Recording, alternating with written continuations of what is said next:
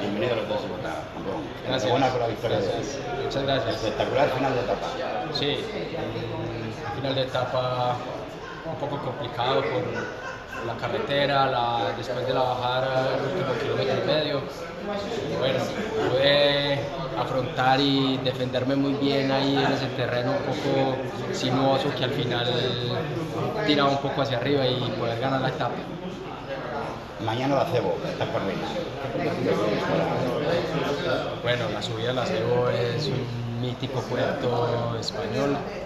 Para mí es muy importante afrontar la subida de la Cebo con la camiseta de líder. La idea es poder defender la camiseta, estoy bien físicamente y bueno, espero mañana poder entrar al hotel con la camiseta de líder.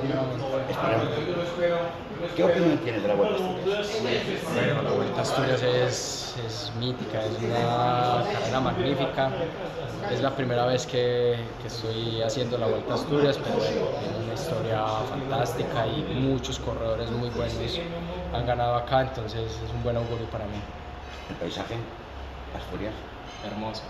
La verdad, sí, sí, me encanta mucho el paisaje y todo perfecto. Bienvenido a suerte.